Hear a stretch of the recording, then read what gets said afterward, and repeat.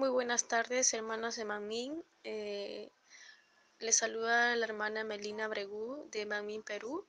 Bueno, en esta oportunidad estoy para contarles mi testimonio, lo que pasó durante la semana pasada. Bueno, hay que constar lo siguiente.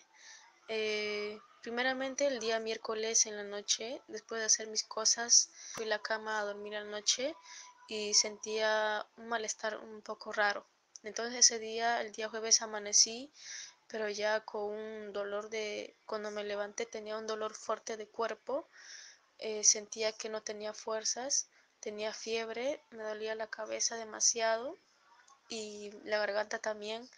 Entonces, pues en la tarde, eh, normal, yo dije voy a orar con el pañuelo y en la oración de Daniel también cogí el pañuelo, oré y me esforcé en entonces dormí en la noche, al día siguiente, el viernes, amanecí con un dolor fuerte de, espalda, donde están las partes de los pulmones, me dolía demasiado.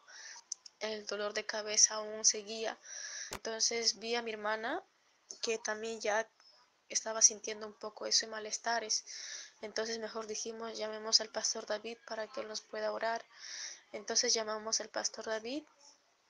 Él nos oró muy, muy fervientemente y bueno, en la oración sentí que tenía que esforzarme más para buscar más la santidad y poder buscar más cada día la palabra de Dios, poder leer más la Biblia, poder escuchar más prédicas. Entonces después de la oración del pastor me dijo, a ver, puedes examinarte.